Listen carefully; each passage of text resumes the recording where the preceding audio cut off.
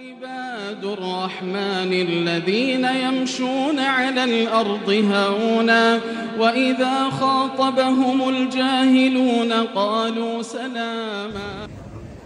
الحمد لله والصلاة والسلام الأتمان الأكملان على رسول الله وعلى آله وأصحابه ومن والاه. ما بعد فهذا هو الدرس الخامس والأخير في هذه الدورة العلمية في فقه الطهارة التي نسأل الله عز وجل أن يبارك فيها وفي أهلها وأن يجعلنا وإياكم ممن يستمع القول فيتبع أحسنه. وموضوع هذه المحاضرة المسائل الفقهية المتعلقة بالحيض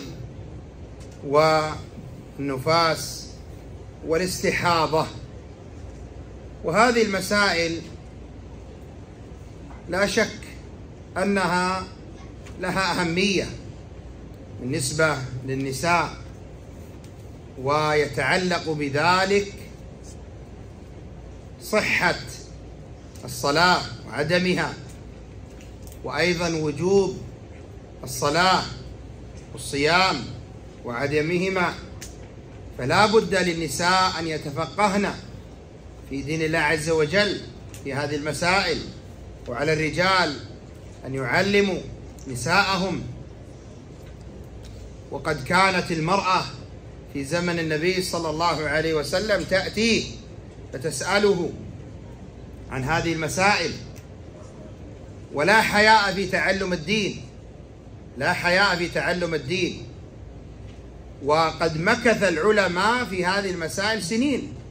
عديدة يبينونها ويكتبون وألفت المؤلفات. و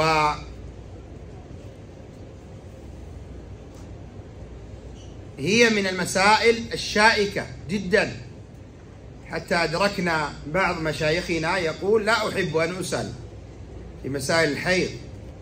أنها مسائل شائكة. وقد كانت أمنا عائشة رضي الله عنها تقول للنساء وهن يأتين إليها بالخرق. يقولون لها هل هذا الطهر؟ هل هذه علامة الطهر؟ فتقول لا تستعجل لا تستعجل. إذا هناك مسائل مهمة وهذه من المسائل التي أيضا يعني ينبز بها أهل السنة. ينبز بها أهل السنة. وكما ذكرنا أن أهل السنة لا هم أهل السنة لأنهم يهتمون بالسنة وكذلك يعلمون الناس السنة ولا يتجاوزون الكتاب والسنة فينبزون. فيقال مثلا أهل أهل علم الحيض والنفاس. وكان يعني ينبز الإمام أحمد رحمه الله والأئمة من أهل البدع فيقولون علم أحمد علم الخرق. هكذا كانوا يقولون أهل البدع عنهم يعني علم الحيض والنفاس. وهذا لا يضرهم. أي شيء في الدين نهتم به. أي أمر صغير أو كبير. نهتم به ونعلم نتعلمه ونعلمه لأنه من الدين. الذي قال الله عز وجل اليوم أكملت لكم دينكم وأتممت عليكم نعمتي ورضيت لكم الإسلام دينا. فكل شيء من الدين رضيه الله أتمه الله أحبه الله عز وجل. فالاهتمام به اهتمام في مرضاة الله وطاعة الله وهذه يعني بإذن الله نذكر بعض المسائل المهمة التي قد تخفى على كثير من النساء في مسائل الحيض والنفاس وكذلك الاستحاضة. نعم. الحمد لله رب العالمين والصلاة والسلام على نبينا محمد وعلى آله وصحبه أجمعين أما بعد. Our Shaykh Allah Ta'ala began his fifth and final session of this blessed conference بإذن by uh, mentioning the topic at hand and that is matters relating to menses uh, irregular blood, and postpartum bleeding for the women. And these, uh, this, this particular topic, uh, it's, it's imperative for every woman to know, and even every person, every man, to know to teach their womenfolk as well some of these intricate details that many of them don't quite understand properly. In fact, even at the time of the companions, our mother Aisha radiallahu anha, she was a scholar, right? And so she would give, uh, tell the women how to exactly what to do and how to go about this issue. And sometimes she would say to them, you know, you, you're hastening, you're, you're rushing, right? Because they, they assume that, you know, they're, uh, they, they can pray again and do what the women uh, can do normally, but they would rush. So the point is, they, there are some matters uh, that relate to this topic that are not quite understood properly. So it's important to, to review this and to, to learn this and to revise this topic in order to uh, uh apply it properly because, of, as you know, it relates to your salah and your tahara and purity. Ahl Sunnah, the scholars the Sunnah throughout time have been have been criticized and mocked actually for for you know, shedding light on this topic and writing about this topic and teaching this topic, but this is expected of them. As for Ahlul Sunnah, you know, anything that's part of the religion, you hold on to it, you teach it, you, you understand it, because it's part of the deen. Anything that's part of the deen, Allah subhanahu wa ta'ala legislated it and, and is pleased with it. So it, upon us is to understand this uh, topic properly, and uh, because, because it is part and parcel of the religion. نبدأ بما هو متعلق بالحيض. وما هو الحيض؟ الحيض هو الدم المعروف الذي كتبه الله عز وجل على بنات آدم كما بينه النبي صلى الله عليه وسلم. وله لون أسود ورائحة شديدة تعرفه النساء. هذا هو الحيض الذي يمنع الصيام ويمنع الصلاة ويمنع المرأة من أن آه، أن تفعل أي شيء متعلق بالطهارة الذي يشترط له الطهارة. وكذلك يمنع من إتيانها. وقد كانت اليهود تعتزل النساء أي أنهم أنهم يطردونهن ويحتقرونهن. ولا يآكلونهن ولا يشاربونهن. وجاءت النصارى فاستمتعت بالنساء وقت الحيض وجاء الإسلام لبيان الوسط في ذلك. ليس جفاء اليهود وليس أيضا غلو آه، أو بالأصح آه، ما كان من النصارى من التفلت والضياع وإتيان الحيض. فجاء الإسلام يمنع آه، إتيان المرأة وجوز معاشرتها من مؤاكلة ومشاربة وكل ما يتعلق بالطاهرات إلا الجماع. فإن كما جاء عن النبي صلى الله عليه وسلم افعلوا كل شيء إلا الجماع. فإذا المرأة المرأة الأصل أنها طاهرة في بدنها وأن النجاسة في مكان النجاسة في الفرج. ولذلك قال صلى الله عليه وسلم حيضتك ليست في يدك. ليست في يدك. لما قال لأمنا عائشة رضي الله عنها ناوليني الخمرة التي في المسجد. الخمرة التي في المسجد فقالت يا رسول الله إني حائض. فقال حيضتك ليست في يدك. الحيض في مكان نجاسة وفي مكان الفرج. ولذلك ربما قرأ النبي صلى الله عليه وسلم القرآن وهو متكئ في حجر عائشة وهي حائض. كما جاء في الحديث الصحيح كان النبي صلى الله عليه وسلم يستلقي على حجر عائشة رضي الله عنها فيقرأ القرآن قال وأنا حائض. وهذا يدلنا يعني يدلنا على أن الحائض ليست نجسة وإنما الحيض هو النجس والمكان نجس هو المعروف وليس بدن المرأة كلها.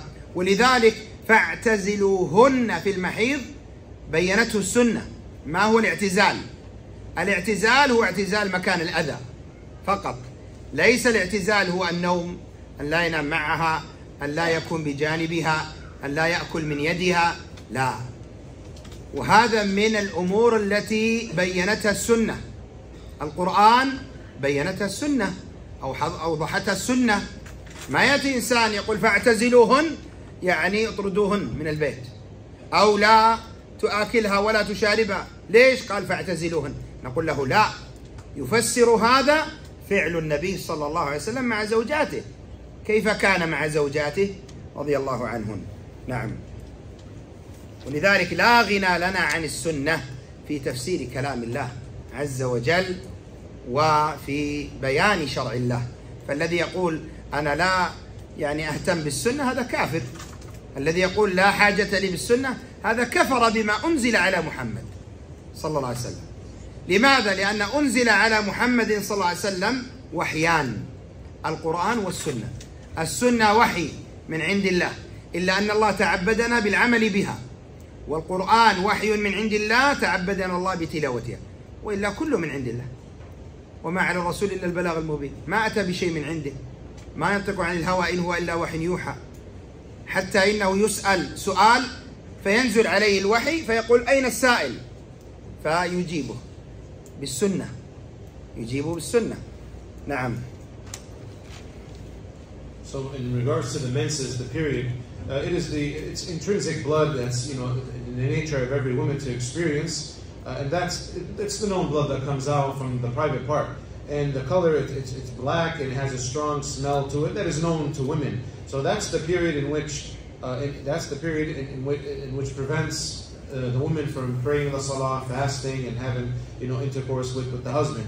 As for the, you know the Jews and the Christians, they, they went to extremes in this regard. There are two sides of the spectrum. The Jews they claim that, or, or they would treat the woman as if she's like uh, completely impure, and they would they wouldn't even be in the same building as her. They wouldn't be in the same room as her. They wouldn't eat with her. They wouldn't drink with her. The Christians, on the other hand, they to them whether she's on a creed or not, it's the same. They would still have intercourse and, and things like that.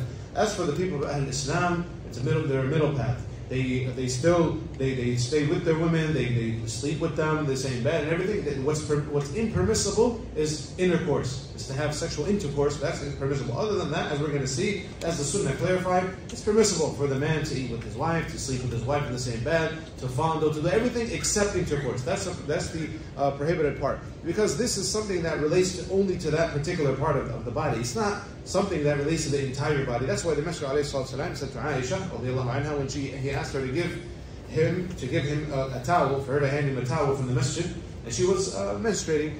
She said, "What about menstruation?" She said, "It's not in your hand," meaning uh, like literal meaning, as, as some understood it. The ulama they said it's it's not in your hand. It's rather it's the place of you know the, the private part that is known. So the, the point is, um, uh, the people of Al-Islam, we, we know the Sunnah clarifies this to us. That's why it's it's absolutely important for us to to understand and, and, to take the Sunnah as authority. And we cannot forsake and dismiss the Sunnah because the Sunnah is also from Allah Subhanahu wa Taala. Its, its rulings just as the Quran is as well. بل ينبغي على الرجل أن يلاطف زوجته وقت حيضتها وقت نفاسها لأنها تكون في شدة وتكون في تعب وتتغير طباعها. ولذلك بكت عائشة رضي الله عنها لما حاضت وهي تريد الحج. فماذا قال النبي صلى الله عليه وسلم؟ قال إن هذا شيء كتبه الله على بنات آدم. يعني يؤنسها ثم أوقف أصحابه بعد العمرة وجعلها تذهب وتعتمر كل هذا من الملاطفة وإدخال السرور على قلبها والإحسان إليها رضي الله عنها وأرضاها نعم Rather, what's appropriate is for the husband to be generous and kind uh, to his wife in, in that particular uh, state, in that situation, in that time of her period. Just as our Messenger wasallam was with our mother Aisha when she when she was wanted to when she was performing Hajj, and then during you know the, the Hajj time, season time, she wasn't able to do everything that the, the people performing Hajj were doing because she uh, she had, she experienced her menses. So the Prophet ﷺ, he, after she was pure from her menses, he, you know, uh, as you know, he commanded her brother to go with her to for her to perform Umrah. So the point is, he ﷺ, to, in order to comfort her, in order to, to you know compensate that for her, he, he, commanded, instructed her to do that after her period was over. وقد خفف الله عز وجل على المرأة في وقت حيضها. خفف عنها الصلاة وخفف عنها الصيام. خفف عنها أمور. فكيف أنت يا عبد الله لا تخفف على زوجتك؟ لا بد أن تفعل لك كل شيء كانت تفعله في غير وقت حيضها. هذا خطأ. مثلا لو كانت متعبة وتجد يعني أنها لا تستطيع. خفف عنها. أن تأتي بالطعام من من من خارج البيت. يسر عليها ييسر الله عز وجل عليك. لا تشق عليها فيشق الله عليك. هذا الذي ينبغي. إذا كان الله عز وجل يسر من حقه عليها. فكيف لا تيسر من حقك عليها؟ In fact, Allah Azza wa Jal alleviated from the women during her menses many things. She, she doesn't pray salah, she doesn't fast, right? So, what about you as her husband? Why won't you alleviate and take it easy on her when she's in her period? For example, if she's, you know, you, you expect her to do everything she does and have the same energy uh, and the same, you know, attitude that she does when she's on her, on her period. This is this is not true. That's a false I mean, a way to go about it. Rather, you should alleviate and make things easier on her. For example, if she doesn't want to cook food at home and wants to get from outside, you should understand that, and you should be someone who's who's understanding in this regard. والراجح أن أن الحيض لا حد لأقله ولا لأكثره. لا حد لأقله ولا لأكثره إذا كان على هذه الصفة. صفة يعني الصفة المعروفة بأنه أسود وأنه منتن. كما قال صلى الله عليه وسلم دم الحيض أسود يعرف. ويعرف يعني له عرف. له رائحة نتنة هذا معنى يعرف. قيل يعرف بلونه وقيل العرف. كما جاء في الحديث لا يجد عرف الجنة يعني رائحة الجنة. فالعرف المقصود به يعني الرائحة. ويكون الطهر منه بأحد أمرين. إما بالانقطاع والجفاف فإذا جف يعني موضع الحيض وما بقي هناك شيء وتتبعت ذلك فلم تجد شيئا فهذا الجفاف يعتبر من آه من علامات آه الطهر. أو القصة البيضاء. القصة البيضاء التي تأتي بعد الحيض تأتي قصة بيضاء ترى يعني بياضا. يخرج هذا تسمى القصة البيضاء وتكون هذه بعد الصفرة والكدرة. تكون بعد الصفرة والكدرة. لأن الحيض إذا أراد أن ينقطع فإن تأتي صفرة وكدرة والصفرة تكون مختلطة بياض مختلط بدم. ثم بعده يأتي القصة البيضاء التي تقص الحيض أو يعني يعني من الطهر. فهذا يكون به الطهر. ولا تستعجل المرأة في في انقطاع حيضتها وإنما إذا رأت الطهر إذا رأت الطهر بأحد هذين العلامتين فإنها تعود آه، طاهرة. فإذا كان هذا خلال وقت حيضتها فإنها تطهر ولكن لو رجع الدم في وقت حيضتها فإنه حيض.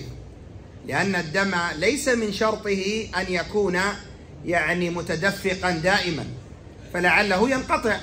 في وقت الحيض ينقطع يتقطع. فإذا رأت طهرا في وقت حيض فإنها ترجع إلى طهرها. تصلي تصوم. ولكن لو رجع في أيام حيضتها فإنه يكون حيضا. يكون حيضا. وهذا سيأتي معنا أيضا في النفاس. فإن المرأة النفساء تمكث أربعين ليلة ولكن قد تطهر في تلك الليالي. نعم.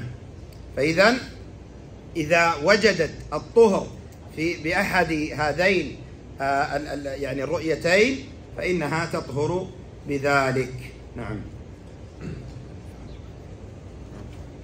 And there is no limit to the maximum and the minimum duration of, of how long a woman's period is. Rather, if there are those two main traits, and that is if it stops and, and, and dries up, uh, and, or, or, the smeller, the smell and the color, uh, the, the well-known, the, the well-known smell to them, and the, the black, deep, extreme color is, is taking place, then that's the time of her period. And then the signs of her period, uh, her, her, purifying from it, and then it ends, is that number one, it stop, the blood stops and it dries up, and two, the white or white or one, yeah, one is one or لا يلزم الاثنين. Yeah, from the signs is the, the stop, uh, the stop, the blood stops and it dries up, or white fluid uh, that women know that that white fluid comes out after. So if after it's it's yellowish, it's mixed. First yellow mixed with, with white, and then it's just that white fluid that comes out after it. If that's the case, and it happens during the, the, the time period duration that a woman knows for herself, then that means her period is over. And if blood comes back within the period and, and, and the duration of when it, she normally gets her period, then it means that she must refrain once again from salah and from fasting because she's still within the time of her period. وقد أرشد النبي صلى الله عليه وسلم المرأة التي سألته أن تتتبع يعني وقت الطهر أن تتتبع آه يعني ذلك آه الطهر بأن تأخذ آه تأخذ يعني ما ما هو معلوم اليوم كالقطن أو الشاش وتكون ممسكة يعني بالمسك فيعني فتتتبع به الطهر وتتتبع به موطن الدم. لأن الرائحة تبقى كريهة. وهذا أيضا من تعاليم الإسلام في النظافة والاهتمام بالإنسان بنفسه بأنه يستخدم المسك في ذلك الموضع حتى لا تبقى تلك الرائحة الكريهة. والنبي صلى الله عليه وسلم كان يكره الروائح الكريهة حتى من العسل حتى من العسل.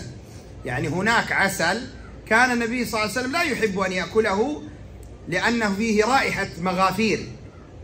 كان معلوم بأنه فيه رائحة مغافير يعني رائحة كريهة. وتعرفون هذه سبب يعني نزول سورة التحريم. يا أيها النبي لما تحرم ما أحل الله لك؟ أنه حرم على نفسه أي امتنع من العسل الذي أرادت حفصة رضي الله عنها وعائشة رضي الله عنها أن تقول أن به مغافير وهم يعني قد يعني غفر الله لهما تلك ذلك الأمر الذي أراد أن يفعلان مع النبي صلى الله عليه وسلم. وهذا من يعني من أسباب النزول و أو سببي النزول الذي ذكر. ذكر أنه كان يكره الرائحة يعني رائحة ذلك العسل. ولذلك ما كان يأكل صلى الله عليه وسلم البصل والكراث والثوم. ولو كان في وقت ليس فيه صلاة وكان يقول إني أناجي من لا تناجوا يعني جبريل عليه السلام والملائكة تكره أو يعني وتتأذى مما يتأذى منه بنو آدم. فكان لا يحب ذلك لا يأكله. وإنما يأمر بأن يطبخ. وإذا طبخ ذهب يعني رائحته. ويمات يعني أميتوه بالطبخ. أميتوه بالطبخ حتى يذهب رائحته. فإذا المرأة أيضا تأخذ قطنة ممسكة بالمسك تستخدم المسك وتتبع ذلك المكان وعند طهرها حتى تكون يعني نظيفة وتكون أيضا رائحتها طيبة لأن هذا من هدي النبي صلى الله عليه وسلم. وكان يقول حبب لي من دنياكم الطيب والنساء. الطيب والنساء فالإنسان ينبغي له أن يهتم بالطيب. وقد جاء عن بعض السلف أنه قال لا سرف في الطيب. ما في سرف. يعني لو اشترى الإنسان بألف دولار مثلا أطياب. ما يكون سرف. لأن هذا من الأمور التي يحبها الله عز وجل الطيب. والملائكة تحب الطيب والشياطين تهرب من من كان طيبا في رائحته وطيبا في ملبسه وطيبا لأنهم يحبون الخبث والخبائث يحبون الأشياء الخبيثة ويحبون النتن ويحبون البيوت الوسخة. ولذلك السحرة والمشعوذين تجد بيوتهم وتجد مجالسهم مليئة حتى بالدماء والوساخة. ولا شك أنهم يعني من شياطين الإنس وشياطين الإنس هم يعني عونة لشياطين الجن. ولذلك متسخة قلوبهم ومتسخة أبدانهم وأفواههم. نعم نسأل الله السلامة والعافية. فاحمدوا الله على نعمة الإسلام الذي ينظف ظواهركم وبواطنكم. نعم. Messenger wasallam instructed the women who asked about this particular matter that when, when she when her period is over, for her to trace the, the blood the, the, to trace the blood by uh, the spots of the blood by using cotton that is fragrance that smells good in order to get rid of that smell uh, the, the, you know of the period smell after the blood after that. So this is to, to, from the purity of and the cleanliness of the religion of Islam is to get rid of bad odor. This is one, one of the examples. Even the Messenger والسلام, if he did not like a particular smell, such as from certain honey type of honey, he, he disliked it, he detested it because of the smell that it had and the odor that it had. So uh, that's why also he والسلام, will not eat onions nor garlic, even at times that don't relate to the, the, the proximity of the salah. And if the salah time, he still wouldn't eat garlic and, and onion. Because he detested it, he didn't like that smell, and he was a special case to him.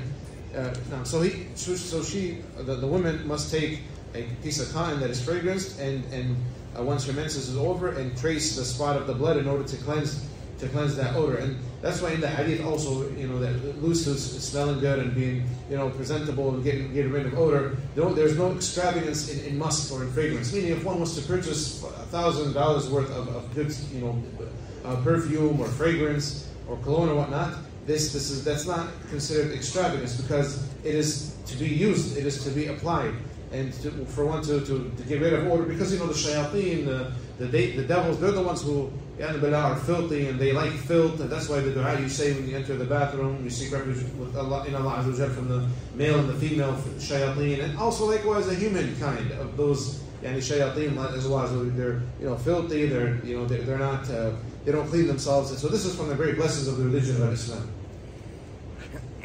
ومعلوم أن أن الحيض يمنع الصيام ويمنع الصلاة ولكن الصيام يقضى. الصيام يقضى والصلاة لا تقضى إلا إذا فرضت عليها وهي طاهرة. يعني مثلا امرأة طهرت بعد دخول صلاة الظهر دخل وقت الظهر. وهي ما صلت في أول الوقت. وذهبت ساعة مثلا أو نصف ساعة ثم جاءها الحيض هنا نقول إذا طهرت يجب عليها أن تصلي الظهر لأنها فرضت عليها في وقت الظهر وهي طاهر. وإنما ما استطاعت بعد ذلك لأنها أصيبت بالحيض فمنعت. فتكون يعني من الصلوات التي تقضى. وكذلك يقول العلماء أختها من الصلوات. تنزل منزلة المريض والمريض يجمع الصلاة.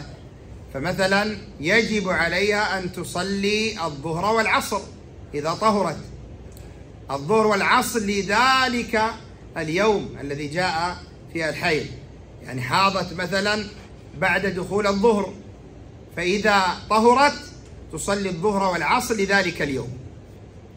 وعلى هذا فتوى أكثر العلماء على أنه تصلي آه، الفرضين آه، يعني آه، تصلي الفرض الذي يعني الذي فرض عليها وهي طاهر وكذلك الفرض الذي يجمع معها الذي الفرض الذي يجمع مع تلك الصلاة. ومثل ذلك إذا طهرت. لو طهرت في صلاة العشاء فإنها تصلي المغرب والعشاء لذلك اليوم. تصلي المغرب والعشاء لذلك اليوم. لأنها إذا طهرت في وقت وهذا الوقت له آه، يعني صلاة مجموعة معها فإنها تصلي المجموعة وتنزل منزلة المريض الذي يجوز له أن يجمع الصلاة. نعم. So uh, the, the menses, as, as known, as it's well known to us, that it prevents a woman from salah and from siyam, from prayer and fasting, uh, except, there's, there's an exception here to the salah only. If she was pure at the time that the salah came in, but then she did not perform that salah before getting her period. So, for example, um, Dhuhr time came in, and then she she ended up getting her period, you know, a, a little bit before Asr time, and she didn't pray yet. In this case only, then when she becomes pure once again, she has to repeat that salah that she missed that she not she, that she did not pray at the time when it was legislated for her to pray after her period is over. And likewise, many ulama say that if she became pure at a, at a, and she, she did not perform uh, the, the, salah when she, when she was in a state of purity, as we mentioned the example of Dhuhr, likewise, uh, if she became pure at the time of Asr, for example, uh, she did not pray Asr and she had her period before Maghrib. In this case, she combines.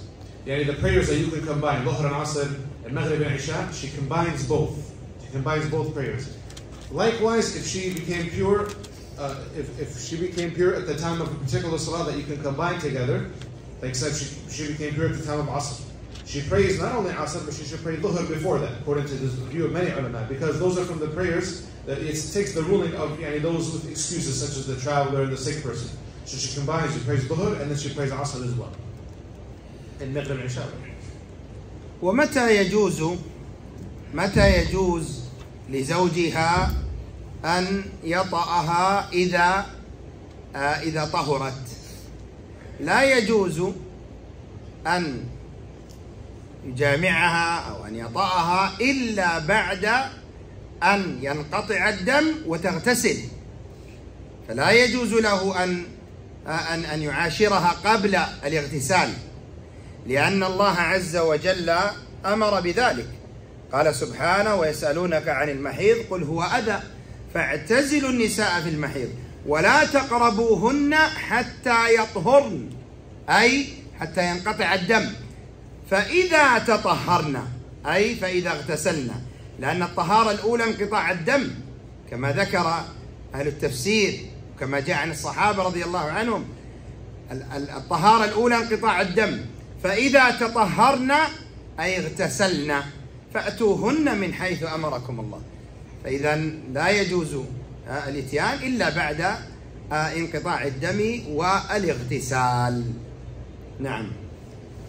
وقد مر معنا في الدرس الماضي أن المرأة إذا اغتسلت من الحيض فإن أرجح أقوال العلماء والأحوط لدينها أنها تنقض ظفيرتها تنقض ظفيرتها وذلك يعني لوجود الدليل بذلك. أما الجنابة فالمرأة لا تنقض ظفيرتها آه، لا تنقض في الجنابة.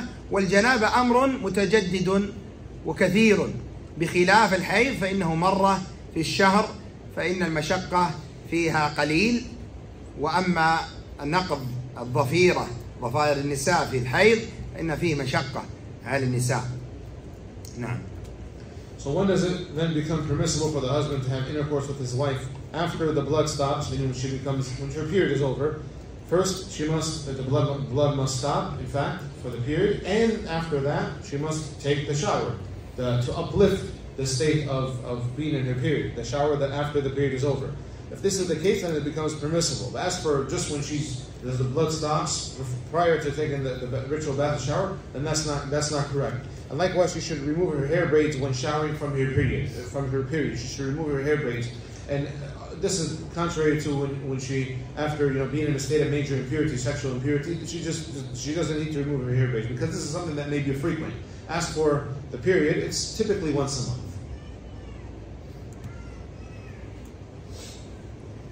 يعني من الاشياء الطرائف ان امنا عائشه رضي الله عنها بلغها أن عبد الله بن عمرو بن العاص رضي الله عنهما كان يأمر النساء إذا اغتسلن يعني للجنابة أن ينقضن رؤوسهن.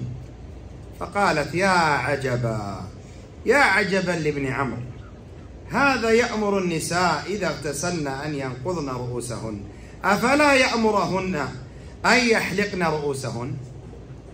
لقد كنت أغتسل أنا ورسول الله صلى الله عليه وسلم من إناء واحد ولا أزيد على أن أفرغ على رأسي ثلاث إفراغات.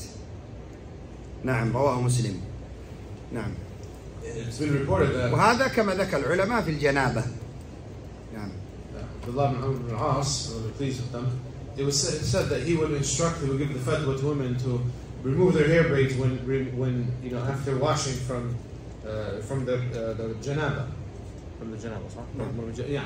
So when she heard this, our mother Aisha, she said, uh, you she said to him, "We might as well, we might as well tell them to shave their hair." And because she said, I would take, you know, the bath with the Messenger sallallahu alaihi wasallam after in a state of major impurity, and she wouldn't, he wouldn't instruct her to move her hair braids. So this shows us that you know, this is the fiqh, the understanding of our mother Aisha, and this is the, the, the correct view as mentioned previously. ثبت عن النبي صلى الله عليه وسلم أن من وطأ حائضا فعليه أن يتصدق بدينار وهذا حديث صحيح وإن كان في آخر الحيض فبنصف دينار وهذه من يعني العقوبات المالية وذكر العلماء أن الحكمة لعله في بداية الحيض دينار لأنه كان قريب عهد بطهر. وأما في آخر الحيض فإنه لعل شهوته غلبته فيكون نصف دينار. وهذا لا يدل على جواز الفعل آه وإنما مع الإثم يدل على الإثم. وهذا أمر محرم لا يجوز. ولكن من وقع في ذلك فعليه أن يتصدق كما ثبت عن النبي صلى الله عليه وسلم. والدينار هو الذهب. يعني الدينار ذهب والدينار اثنا عشر درهما. اثنا عشر درهما. نعم. Uh, والدرهم من الفضة. It's been reported uh, that the Messenger said, whoever has intercourse with his wife on her period, then he must pay one, as an expiation, pay one dinar, and if it's in the early stages, at the end stages of the period, then half a dinar. This is uh, this is a form of uh, expiation and a form of punishment for doing committing this act uh, on, when, when, she's in her state of on her menses. And uh, dinar is uh, the dinar is referred to gold, and the dirham is referred to silver. Uh, and, and, and, one the dinar is it's twelve, twelve dirhams if you were to say, for lack of better term, twelve dirhams. وبالنسبة للحائض هل يجوز لها أن تقرأ القرآن؟ يجوز أن تقرأ القرآن وهذا أرجح أقوال العلماء ولكن الأحوط لها ألا تمس المصحف. وإذا مست المصحف تمسه بحائل.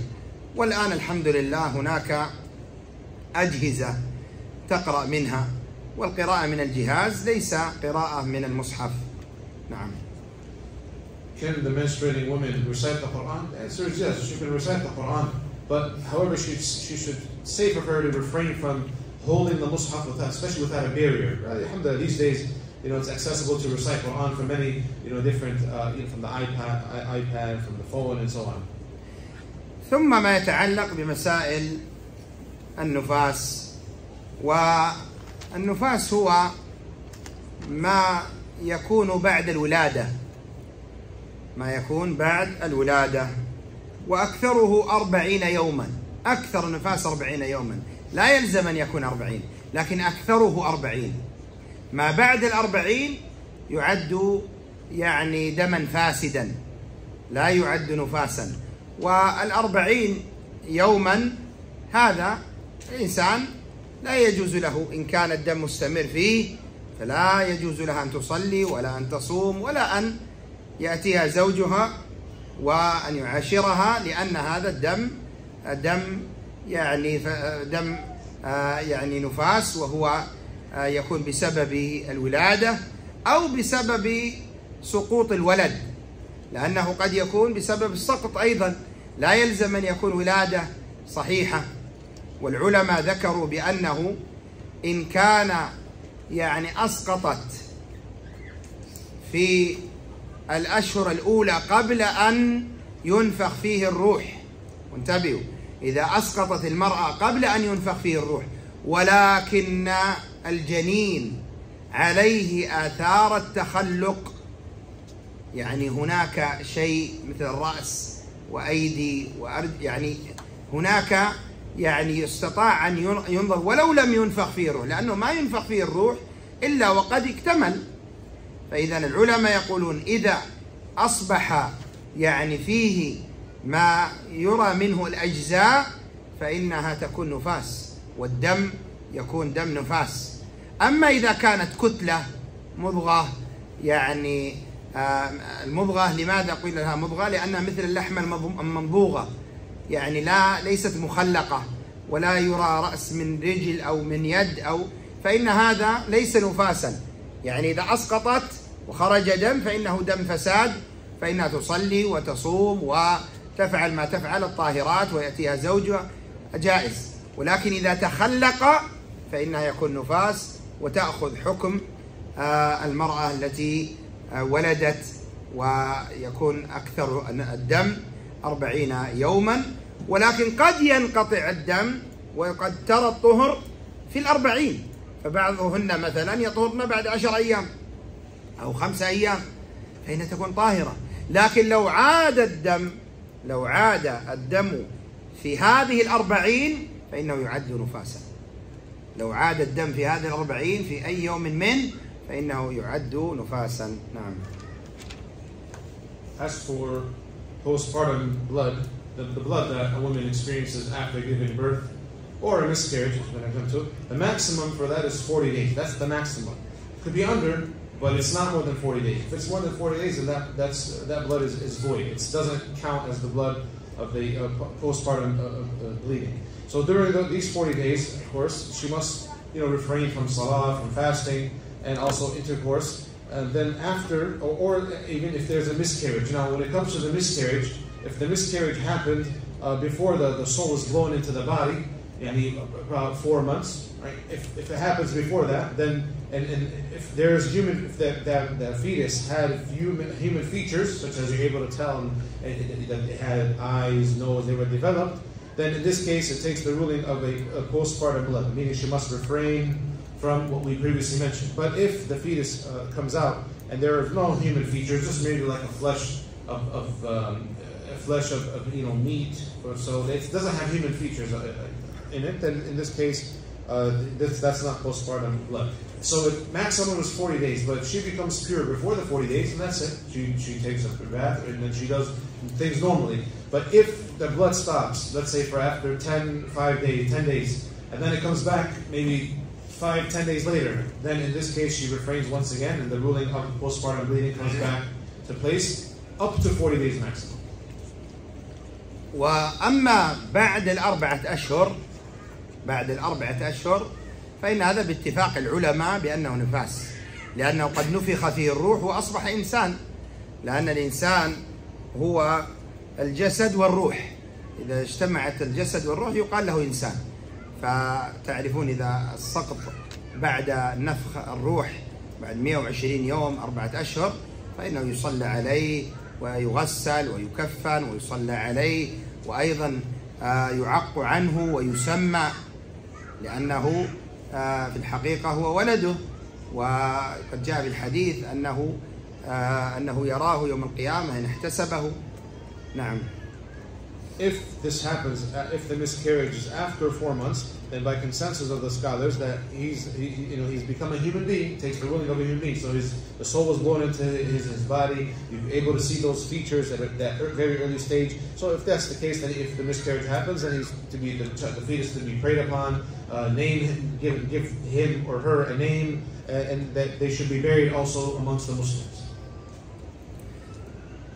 ثم بعد ذلك يأتي ما هو متعلق ويعني آه، متعلق بالاستحاضة تكلمنا عن الحيض والحيض عادة عند النساء وهو دليل على آه، بلوغها لأن البالغة يعني علامات البلوغ يزيد في النساء الحيض ولذلك لا صلاة لحائض إلا بخمار. يعني لا صلاة لبالغة. إنما ذكرت الحائضة لأنها الحائضة ما تصلي. لكن لماذا قيل لا صلاة لحائض إلا بخمار؟ لأنه من علامات البلوغ. هذا مثل غسل الجمعة واجب على كل محتلم. يعني على كل بالغ. ليس محتلم يعني إذا احتلم. أن إذا احتلم لابد أن يغتسل لكن المقصود به على كل بالغ. فذكر ذكرت علامة البلوغ في النساء وهو من خصائصهن الحيض. و ولذلك ما تقول امرأة حائضة وإنما تقول امرأة حائض لأنه أصلا لا يصيب إلا النساء فلا لا يؤنث لأنه أصلا هو لا يصيب إلا النساء. فهذا يعني بالنسبة للحيض. ثم يأتي مسألة وهي كما ذكرنا النفاس ثم نختم بالاستحاضة. ما هو الاستحاضة؟ الاستحاضة دم فساد وهي ركضة من ركضات الشيطان كما أخبر النبي صلى الله عليه وسلم ويكون مثل الذي يسمى اليوم نزيف. عند المرأة تصاب بنزيف ويكون هذا مستمر. والدم آه، لونه لون أحمر وليس أسود ليس هو دم حيض. ولا دم نفاس وإنما هو دم فاسد يعني دم مثل أي الدماء يكون لونه أحمر ويكون أيضا أكثر من عادة الحيض أكثر من عادة النفاس.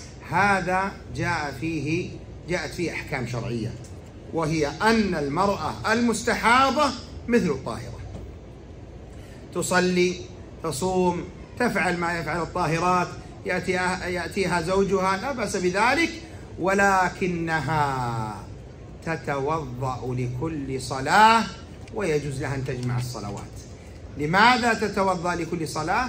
لأنها مثل من عنده سلس البول سلس الريح اللي عنده استمرار في نزول يعني السلس سواء سلس الريح سلس هذا مثل المستحاضة.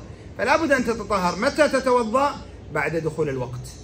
أما رواية الاغتسال فهذا يعني آه إنما هو اجتهاد من آه يعني آه اجتهاد من إحدى نساء النساء وهي حمنة بن جحش رضي الله عنها أنها كانت يعني تغتسل أو جاء عن غيرها أنها قالت وكنت أغتسل لكل صلاة. هذا اجتهاد منها. أما النبي صلى الله عليه وسلم أمر بالصلاة بالوضوء لكل صلاة. أمر بالوضوء لكل صلاة. نعم. Now we're speaking the final, uh, the final category of blood here. نعم ليس حمنة حديث حمنة سيأتي. لكن هذه فاطمة بنت أبي حبيش. هذه فاطمة بنت أبي حبيش. أما حمنة رضي الله عنها بنت جحش التي هي أخت زينب بن جحش زوجة النبي صلى الله عليه وسلم كانت أيضا تستحاض وكانت حيضتها شديدة وتستحاض بالأشهر. يعني الدم يسيل ولا تكاد ترى الطهر أبدا يعني لا ترى غير الدم. فالنبي صلى الله عليه وسلم أيضا أخبرها بأنها يعني آه أنها تكون حالتها كحالة الطاهرات إلا أنها يعني سيأتي معنا التفصيل في آه في مسائل آه أو في صور المستحاضة وهي ثلاثة صور. نعم. As for irregular blood, the irregular blood, which is called al-istihada, that is uh, the blood that comes out from the woman's part. That's not her period, nor is it the postpartum bleeding. Rather, it's irregular, it's void blood. So the ruling of, for, for a woman, if she's in that current that, that state, is that she's able to do everything that a pure woman who doesn't have any blood coming out, except that means she's able to, you know, she must fast, she must pray the salah, and have intercourse with the husband, except that when it comes for to come to comes to salah, she must perform wudu after the time of the salah that comes in and pray. So she must perform wudu before every salah. Um, as for taking a uh, and she's able also from the concessions that she's able to combine the prayers as well, Dhuhr, Asr, Maghrib, and Isha, and so on.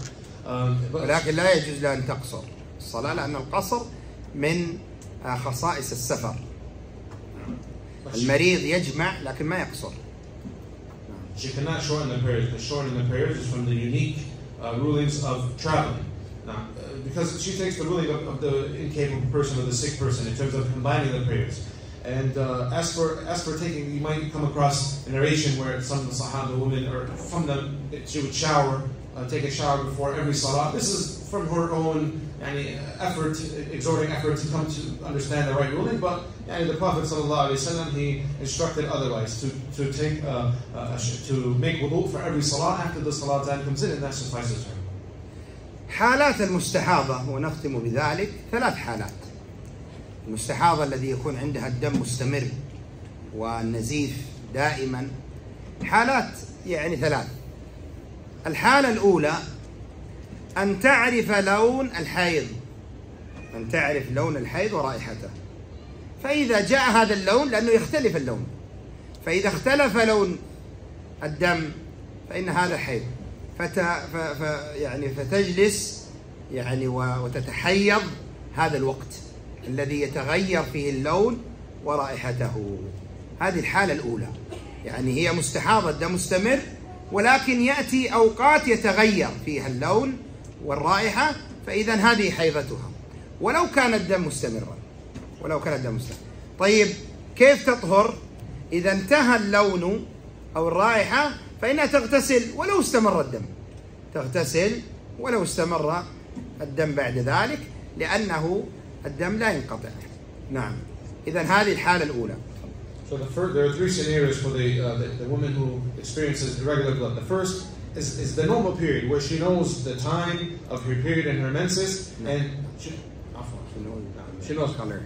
She knows the color and the smell of the menses. during that time, this is her, her, her known period. Even if the blood, irregular blood goes on, it was before and then it continues after, but she knows that the, the, the, the color, the known color and the known smell for her menses period, then she that, that's the ruling for that.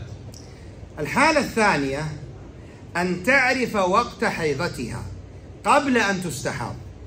قبل أن يأتيها الحيض ال- يعني الاستحاضة والدم والنزيف كانت عندها وقت معلوم. وقت حيضتها معلومة.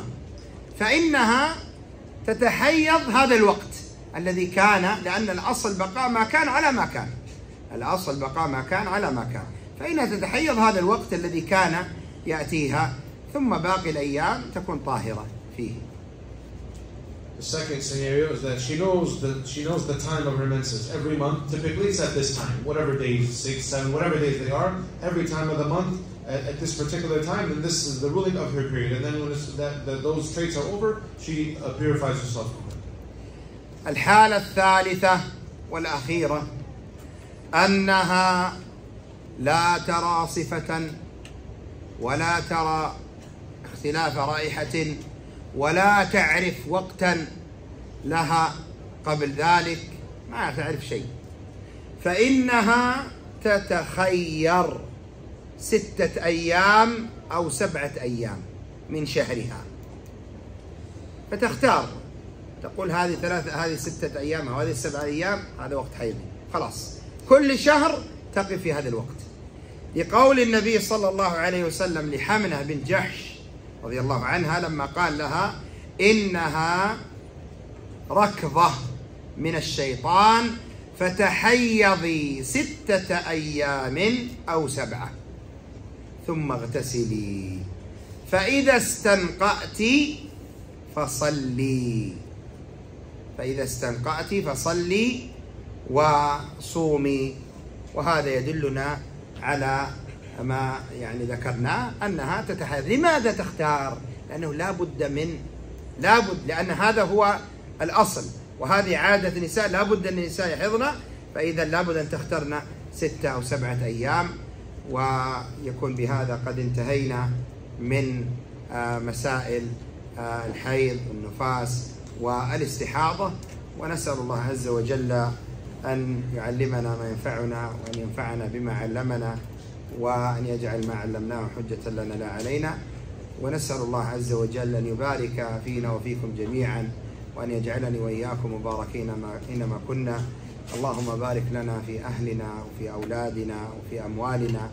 اللهم يا ذا الجلال والإكرام نسألك علما نافعا ورزقا طيبا وعملا متقبلا كما نسألك سبحانك وتعالى أن تحفظنا بالإسلام قائمين وبالإسلام قاعدين وبالإسلام راقدين وأن تحفظ المسلمين في كل مكان وأن تجعل آه، ما علمتنا حجة لنا لا علينا. اللهم صل وسلم وبارك وأنعم على عبدك ورسولك محمد وعلى آله وأصحابه أجمعين. وجزى الله الإخوة القائمين على هذه الدورة. خير الجزاء كما نسأل الله أن يجزيكم جميعا خير الجزاء وأن من جاء من بعيد نسأل الله أن يرجعه إلى أهله سالما غانما معافا وأن يحفظ إخواننا جميعا في كل مكان. ونكتفي بهذا وقد حان يعني وقت خروجنا من هذا المكان. فجزاكم الله خيرا.